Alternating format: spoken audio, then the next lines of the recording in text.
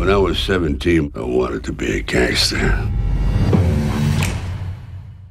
I married this life, and now, after keeping my mouth shut,